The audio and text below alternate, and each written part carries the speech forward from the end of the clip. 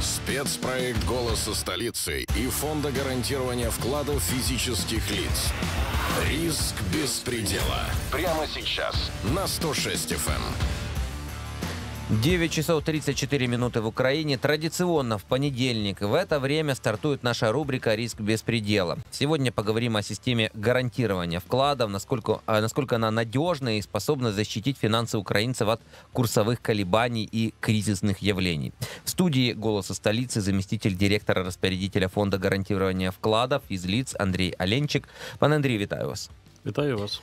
Ну от давайте почнемо з загальної характеристики. Наскільки надійною та стабільною можна назвати українську банківську систему? Вона готова пережити, наприклад, фінансові кризи незалежно від їх розміру, і прості люди не залишаться без грошей, як це у нас часто буває. Угу.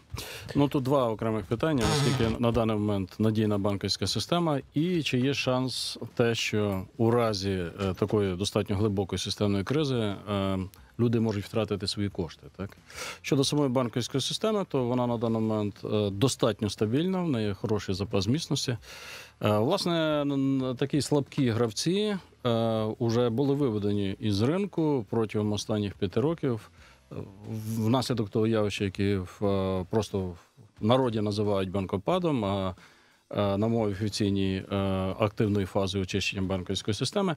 Так що думаю, що там ще є можливо е, невелика група банків, в яких в діяльності яких спостерігаються певні підвищені ризики, але це вже не критично ні для клієнтів цих банків, ні тим більше для банківської системи в цілому.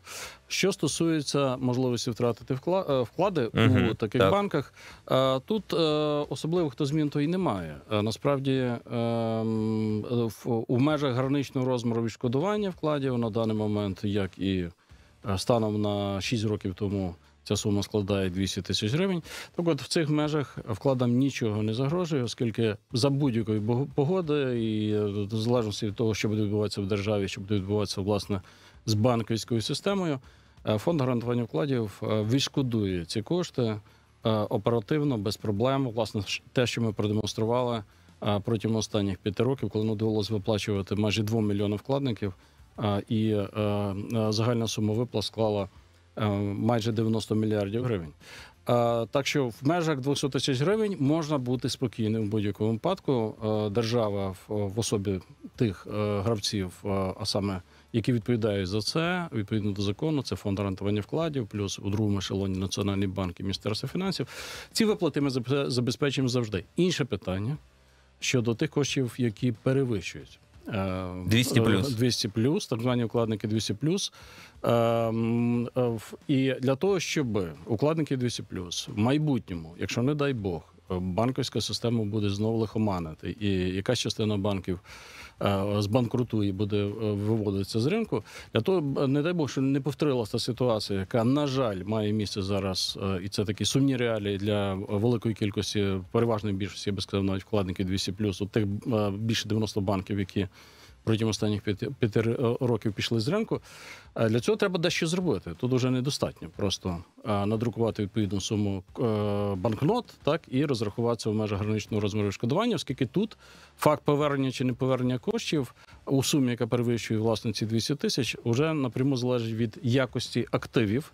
А а значить, і вартості ліквідаційної маси, за рахунок якої і ми і повинні розраховуватися з кредиторами. А нагадаю, вкладники 200 плюс стають згідно закону так званими кредиторами четвертої черги. Отже, коштів повинно вистачити при реалізації цих активів, е, які входять до складу ліквідаційної маси банку, на те, щоб погасити три черги. Е, кредитором третьої черги, наприклад, є фонд. Угу. А потім, е, а потім вже вистачити і на четверту чергу. От для цього треба провести певні достатньо серйозні рокіровки і серйозні реформи. Е, е, підготовлений відповідний пакет вже з е, враховуючи той досвід, який ми маємо протягом останніх років. Підготовлений серйозний пакет змін до спеціального закону про систему гарантування вкладів про банки і банківську діяльність, про національний банк. Їх треба прийняти з одного боку, а з другого боку, треба забезпечити безумовно достатньо глибоку і в чомусь радикальну реформу банківського нагляду, оскільки не секрет, що е, велика кількість банків, які передавали з фонду е, власне протягом так званого банкопаду, приходили до нас уже з критично малою питомою вагою е, реальних живих активів. Нема грошей, вибачте. Нема. Ну тобто активи вводилися і з ними, що відбувалися різні чудесні метаморфози ще до того, коли банк потрапляв в управління фонду. Ну і відповідно, апріорі, що би не робив часто фонд гарантування вкладів, е, які би маніпуляції там ми не намагалися здійснити е, в, в, з е, цими активами, реалізувавши через систему Прозору, там голландські аукціони, залученням якихось міжнародних торгових площадок, все одно продати ноль завжди можна за ноль. Так і Мгм. Е, Тому І повернути і, також тому, ноль. і тому, власне, для того, щоб складники 200 вкладники 200 змогли дивитися у майбутнє з більшою впевненістю і спати спокійніше, ніж це мало місце у е, більшості банків, які виводили з ринку протягом останніх 6 років. Для цього все-таки треба попрацювати. Так і ми е, ці зміни, на жаль, е, не були прийняті парламентом. Е, Цей пакет був підготовлений ще в 2016 році. Це не вдалося зробити ні в 16, ні в 17 і до сих пір. Ну, очевидно, подивимося, який буде склад нового парламенту, наскільки вони будуть готові е, і відкриті, незважаючи на декларації, які робляться під час передвиборної кампанії, наскільки вони будуть відкриті на реальні структурні зміни. А Е. є підготовлені, от, е, от є підготовлений законопроект. Треба зробити це, це, це. Будь ласка, так, так, проголосуйте. так, безумовно, безумовно. Є напрацьований е, достатньо серйозний пакет змін. А більше того, ми, е, е, ми готували ці зміни не тільки самостійно, а е, за активною участю у цьому процесі е, наших іноземних колег з Міжнародного валютного фонду, з Світового банку. Е, З казначейства Сполучених Штатів Америки, тому ми вважаємо, що вони достатньо збалансовані, вони правильні. Е, На жаль, уже в 2016-му вони були б ще й дуже своєчасні, але е, треба виправляти ситуацію хоча б зараз. Тим більше, тим більше, ми не уникнемо проведення власне серйозної реформи в першу чергу банківського нагляду, й по іншій причині, оскільки Україна згідно угоди про асоціацію з ЄС, всі я Ну, думаю, ми зобов'язані просто. ми так? зобов'язані імплементувати дві е, європейські директиви, які мають пряме відношення власне до цієї проблематики. Це так звана 49-та євродиректива 2014 року, яка стосується власне механізмів гарантування системи гарантування вкладів, і 59-та євродиректива того ж року. е, Яка стосується власне того, яким чином мають виявлятися проблеми в діяльності банку на ранній стадії, яким чином Національний банк і фонд гарантування вкладів повинні втручатися в діяльність банку для того, щоб не допустити е, в кращому випадку, в оптимальному варіанті, взагалі банкротства цього банку. Ну в гіршому випадку, принаймні, щоб цей банк приходив е, на стадію виведення з ринків з якимись активами, за рахунок які дають шанс е, кредиторам отримати якесь відшкодування. От, до речі, про зміни ви сказали для того, щоб е, люди, які у яких 200 плюс вклад був, е, щоб вони отримали гроші, треба ці структурні зміни. Тобто, е, завдяки цим структурним змінам просто не допустять виводу великої кількості грошей, і не, не тому, що їх там передвинуть з четвертої чергу в першу чи другу, а просто буде гроші для всіх, щоб повернути всім і першій, і другій, і третій, і четвертій е, чергам. Абсолютно правильно.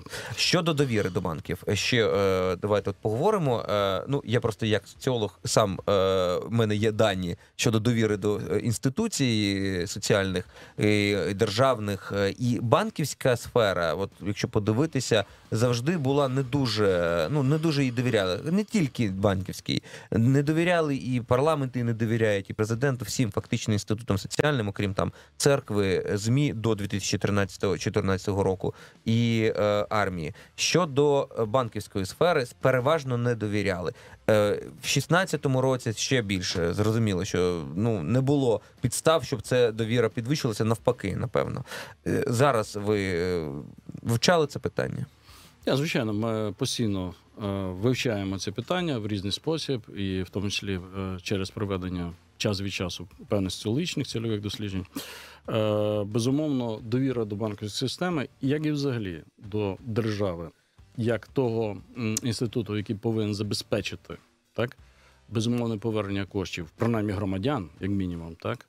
Не, не, е, і не тільки в межах граничного розміру відшкодування до 200 тисяч, а й взагалі, і так званим вкладником 200+.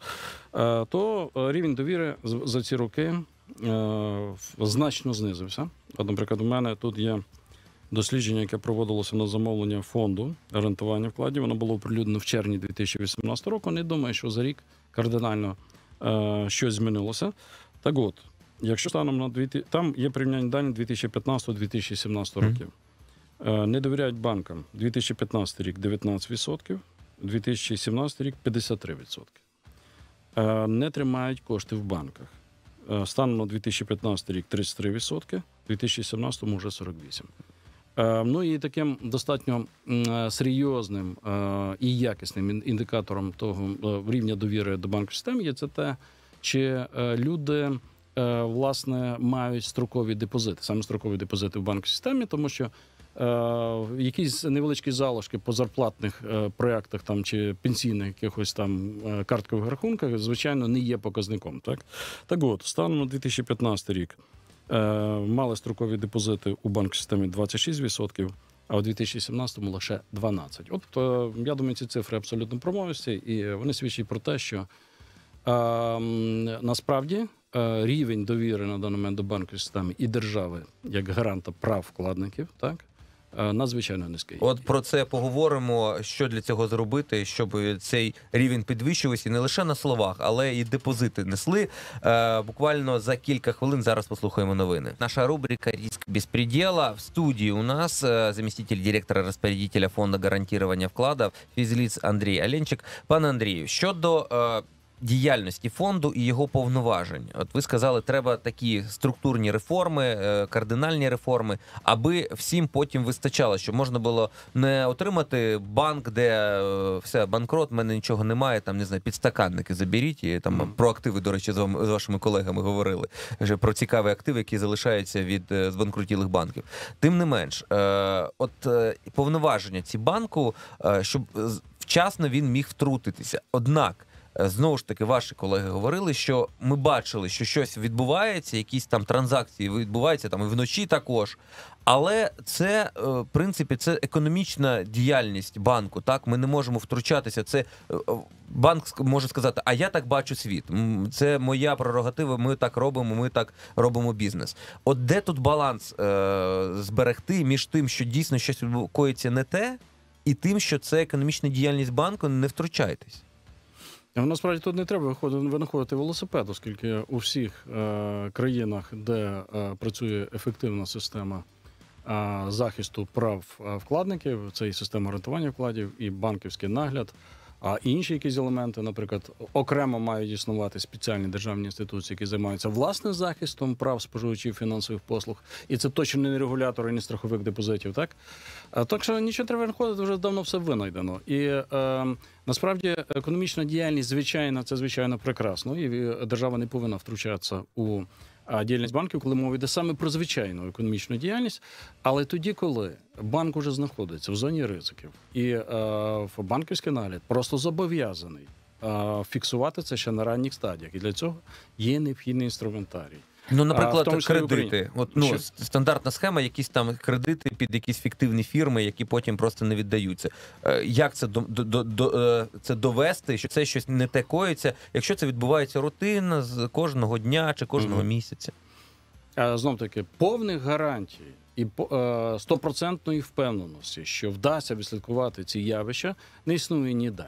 Так а, а, безумовно завжди є певний, е, певна ймовірність того, що е, банківський нагляд, який би не був ефективний, який, який би не був, так би мовити, продвинутий, так е, може якісь проблеми. Пропустити, і ми знаємо насправді, що, наприклад, під час останньої фінансової кризи достатньо серйозні проблеми в банківській системі були, наприклад, в країнах Євросоюзу, де напевно не варто підозрювати їх у високому рівні корупції, я маю на увазі банківські регулятори, чи там вкрай в крайній неефективності. Однак, якщо ми повертаємося до України, то ті проблеми, про які ми зараз з вами говоримо, насправді накопичувалося багато багато років підряд. І це було не треба було бути банківським регулятором. Це було очевидно будь-якій людині, більш-менш мислячій, яка спостерігала за цими процесами ззовні, навіть відкритих джерел. Е, Просто не було певної політичної волі, можливо, були якісь інші причини, які я зараз не буду озвучувати. Чому власне ці агієві конюшні так е, набирали і набирали оборотів протягом років, і прийшов момент, коли та команда, яка прийшла на чолі з Гонтарєвою, е, десь виправдано, можливо, десь не виправдано, але почало цю масову чистку е, банківської системи, і ці проблеми були не ті, які виникли тоді, коли власне. А, після Майдану прийшла команда. Оце після Майдану. Тобто воно накопичувалося? Абсолютно. І е, це була нормальна практика в лапках ведення банківського бізнесу. І при цьому ще знаєте, в чому основна проблема? Не тільки в тому, що що відбувалося, так і е, в що перетворилося велика кількість банків, так. Просто в якісь кишенькові так Мгм. структурки фінансові, які е, як пилисос викачували, в тому числі вклади населення з ринку, і приспокійно, в кращому випадку під реальні реальні бізнеса, але власників, так ці кошти виводилися. Ну в іншому випадку просто викачувалося як насосом через фіктивне кредитування, взагалі на якісь е, фірми одноденки в офшори і так далі, і тому подібне. Це набрало масового катастрофічного характеру.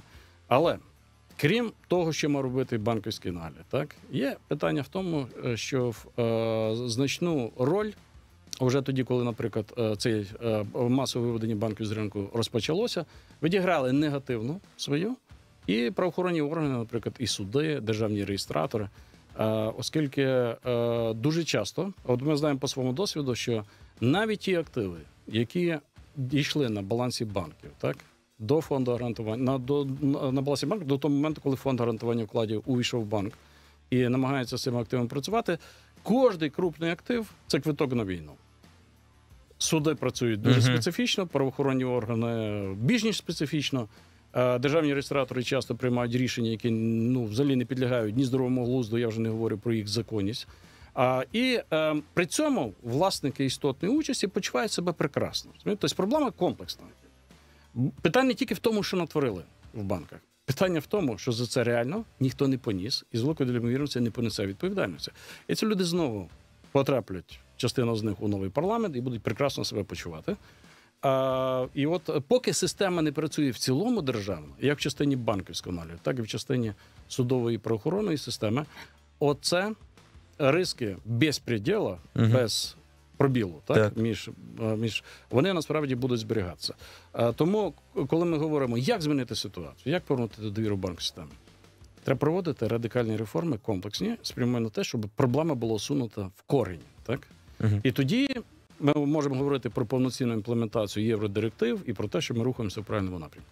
Щодо ще хотілося б е, спитати щодо суми е, гарант, е, гарантованої, так, оці 200 і 200 плюс. От щоб в першу чергу там так потрапити і не потрапити в четверту. Чому 200 тисяч? Як це взагалі вираховувалося? Чи це не з, зі старих часів, коли 200 це було одна сума в доларах, а зараз це зовсім інше?